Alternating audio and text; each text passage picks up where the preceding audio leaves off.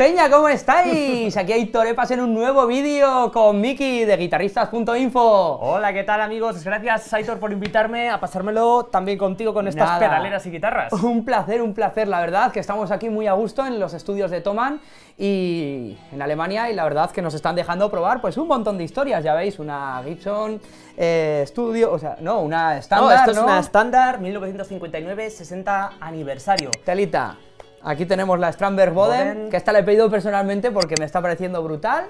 Y hoy vamos a probar, pues eso, un Moer G300 y un Hot Tone Amperio, Am- Ampero, que me habéis pedido un montón de gente que haga una comparativa y que pruebe estos dos pedales, chicos. Es una pedalera muy divertida que tiene muchos nombres, Ampero, Amperio, algunos la han llamado Amparo también. Ah, el Amparo. Pero bueno, lo interesante es que las dos son pedaleras con muchas opciones, tienen un presupuesto, la verdad, que muy razonable. sí, No me parece una locura.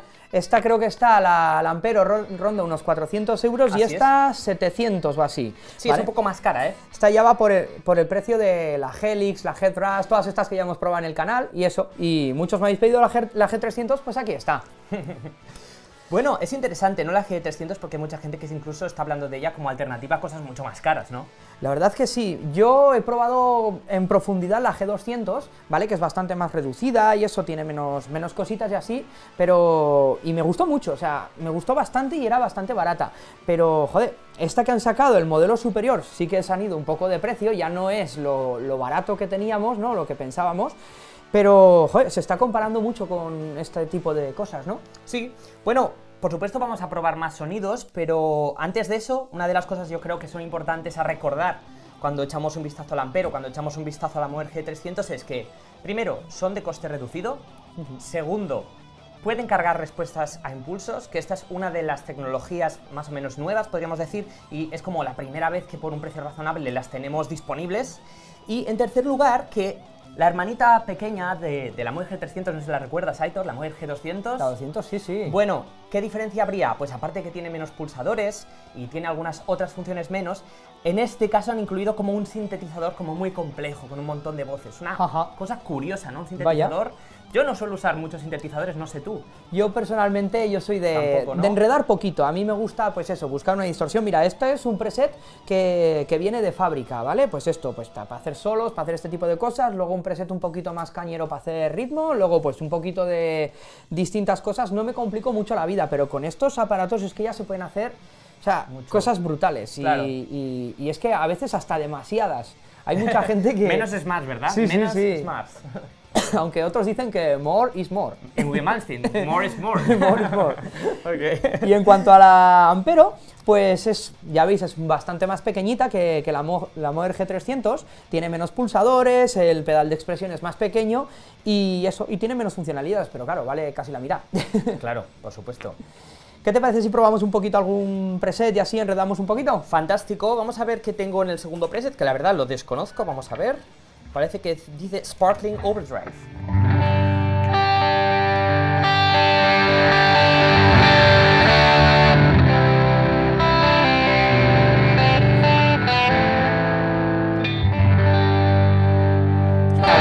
Muy bonita, a ver qué tienes tú. A ver, yo aquí le he dado al segundo y pone Lonely Lit Star. ¡Wow!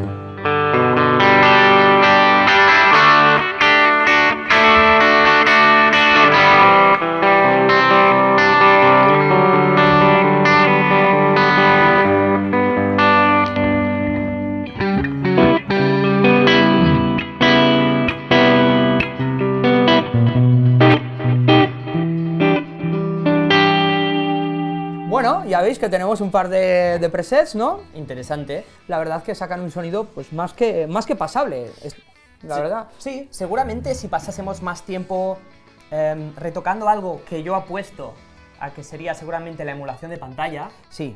varias sí. cosas se podrían retocar, pero una interesante sería el Cap Simulator. Sí, el... yo es lo que le digo a todo el mundo. En el tema del Kemper, muchos me preguntáis acerca de, de la emulación de, de pantalla y es lo que realmente proporciona o sea, un sonido brutal. Claro, ¿cuál es el problema? Que mucha gente, cuando va a tocar con una, con una pantalla, esto por ejemplo, si lo ponemos en una pantalla ahora mismo, habría que quitar el simulador de pantalla, porque ya le estás metiendo uno. Sí, Entonces, este es un problema clásico, ¿no? Yo me acuerdo que hace años cuando intentábamos usar pods, muchas veces por desconocimiento cogíamos el pod con la emulación de Ampli, con la emulación de Capsim, todo encendido al input de un Ampli. Claro, era redundante, ¿no? Claro. Porque teníamos Ampli dentro de un Ampli, Capsim en un, en un altavoz que era real. Ya teníamos Sí, sí, un sí. altavoz, ¿no? O sea, esas cosas, la verdad que hay que tener ojo. Y la mayoría de problemas que tenemos con estos aparatos, la mayoría se, se- se solucionan con, lo de- con la salida del CAP. Así que mirarlo, chicos. Eh, más cosas importantes, el tema de los IRs, ¿vale? Que has dicho tú. Sí. O sea, me estás diciendo que ahora el Mover G300 ya lo, lo incorpora, ¿no? Para poder Sí, meter. De hecho, la Muer G200 ya lo hacía y por eso en su sector, pues digamos que fue un poco llamativa. Claro. Porque era la primera vez que por menos de, no sé, unos 900, 800 euros, pues tenías algo que te permitía eso. Y es una gran mejora porque tú puedes tener una emulación de Ampli decente o simplemente correcta. Pero si tú pones tu propia IR, que sabes que te gusta mucho, que sabes que está muy bien, que tiene muy buena definición, la mejora, como tú muy bien has dicho hace un momento, es espectacular, aunque Claro. el presupuesto pues no sea muy grande. Sí, ese tipo de cosas, la verdad que están muy bien. Vamos a probar alguna cosita más, a ver qué tenemos por aquí. Vale, yo no sé qué más tengo aquí. A ver el Vamos 3. a ver. Sapphire Clean. Es un sonido limpio, entiendo yo.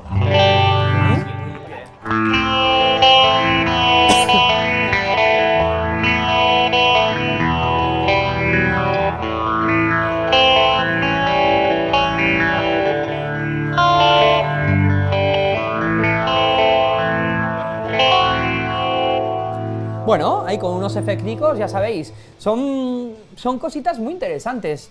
Con esto ya estáis sonando más o menos bien. Y además con un montón de, de posibilidades de efectos para me- poder meterle a los presets. La verdad que están muy bien. Algo a valorar es que los presets de fábrica, porque insistimos, no hemos retocado prácticamente nada, no son descabellados. No, no. Porque algunas veces sí que comprabas alguna unidad que los presets, sobre todo hace años, eran difíciles de adaptar a tu sonido, pero esta las veo bastante equilibrados, al menos para el rollo metalero, rockero. Sí, claro, mira, yo hace unos 10, 12 o 15 años, no sé, hace un montón de años, me compré una pedalerita de estas Digitech. Ah, sí, hombre, sería un de, RP. De dos, RP50 dos pedales, bueno, me costó cuatro pelas. Y me acuerdo que tenía 99 presets. ¿Vale? Vale, creo que, creo que se salvaban dos o tres. Pero claro, han cambiado los tiempos un montón. Un montón. Bueno, voy a probar yo este Funky Reed, que Vamos será para tocar heavy metal, seguramente. Seguro. Uy.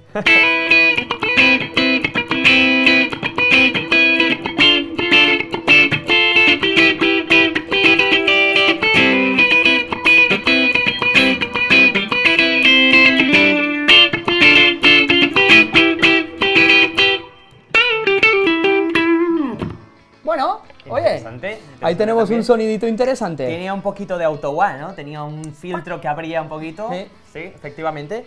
Va, vamos a cambiar de banco porque ahora sí que lo que ocurre es que tenemos tres presets por banco. Si yo quiero acceder a más sonidos, pues me voy a tener ya que ir al banco número 2. Número dos, En sí, concreto señor. al 1, que se llama Boost Solo Effects. O sea que espero que tenga bastante ganancia y sea para hacer solaco.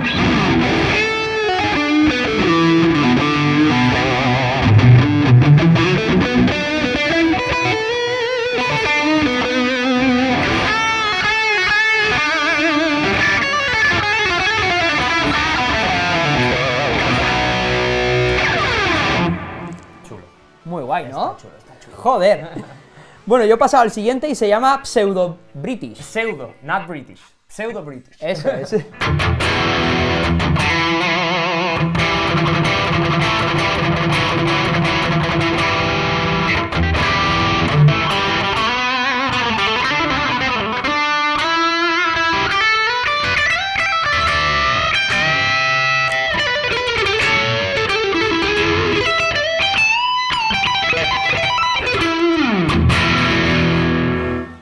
ahí tenemos un sonidito un poco distinto. Y me parece que me queda a mí otro más, ¿no? Sí. Dreamlet. No, este creo que se hemos, hemos probado el primero. No,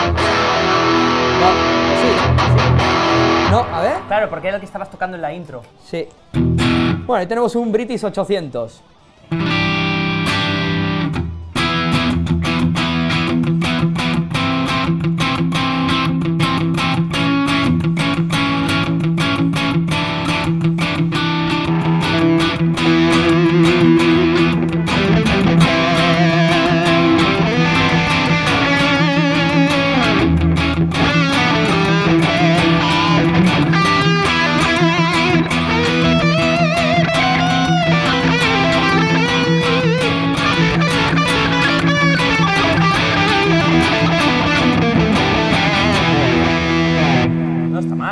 Sí, la verdad que, oye, hemos probado aquí unos cuantos presets y, joder, están sonando muy bien. Yo personalmente me gusta. No hemos preparado nada de antemano, no hay ningún preset que hayamos ajustado.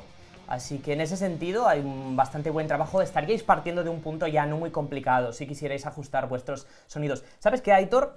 Hay algunas cosas de estas dos pedaleras que me parece que merece la pena comentar y es que cada una tiene como algunos puntos fuertes que la diferencian. Fíjate, la Ampero es táctil.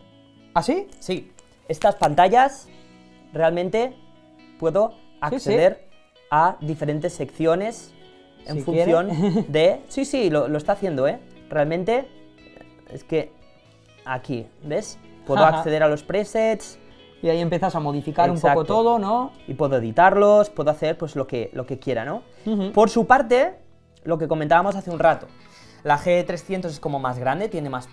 No tiene más presets, pero sí que tiene más botones. Más botones para enredar. Tienes que cambiar menos de banco, ¿no? Si tú en, una- Claro. en un concierto usas cinco sonidos, ya no tienes ni que cambiar de banco. Claro, y luego aquí te pondrás los efectos que quieras meter, los que no y todas esas cosas, ¿no? Efectivamente. Y además tiene algunos sonidos de sintetizador muy interesantes. Y es que creo, si mal no recuerdo, que si nos vamos al banco 8, si usamos el cambio de banco, Looper, eh, mira, con estos dos botones podemos circular por los bancos. Ahí ¿bien? está, Entonces, siete. a partir del 8, si mal no recuerdo, empiezan los sonidos de sintetizador. Vamos a ver.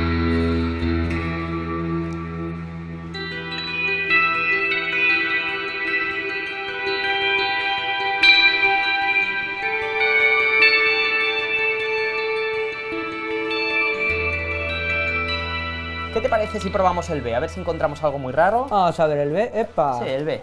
Ahí. Aquí empieza lo bueno.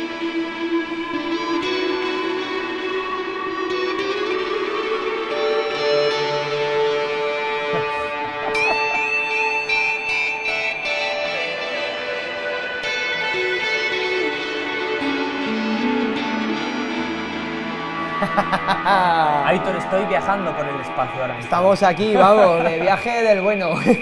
a ver el 3 que tenemos por aquí. Sadly Autumn.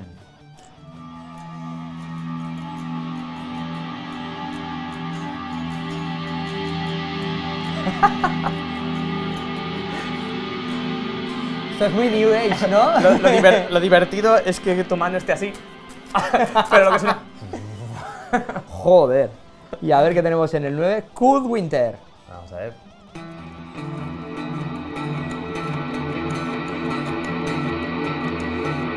Bueno.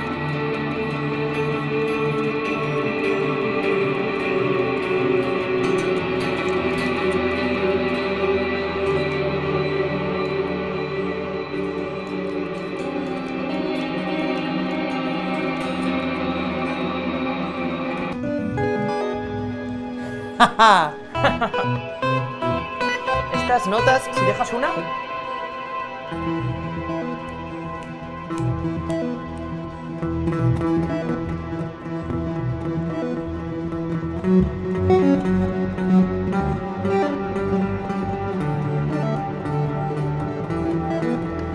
Bueno, menuda fricada.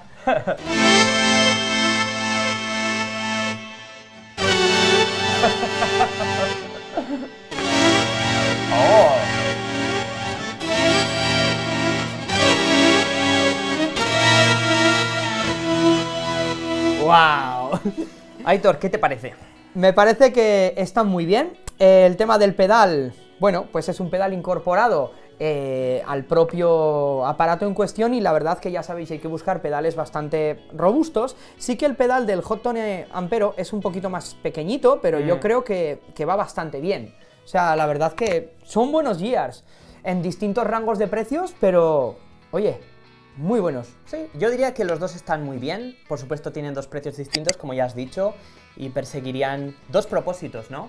Este no tiene toda la parte de los sintetizadores, no tiene un botón dedicado para cada sección de efecto que queramos encender o apagar a dedo, pero a cambio es más pequeño. Tú lo puedes guardar en la funda de tu guitarra y, y este Sí. no puedes. Básicamente como era el Mover G200. Exacto. O sea, Básicamente eso. Era un poquito más pequeñito y la verdad que sí. Mientras que aquí pues llevas todo el paquete completo, ¿no? Tienes Sí. todas las opciones que solían tener las pedaleras grandes. Esa es la sensación que me da.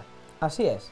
Pues nada, chicos, oye, ¿qué os ha parecido el Gear? Ya sabéis, abajo en comentarios me podéis poner lo que queráis, podéis pasaros por guitarristas.info, ¿eh? donde es un sitio donde tienen un montón de información, tienen foro, compra-venta, un montón de cosillas, y es un montón de noticias y así.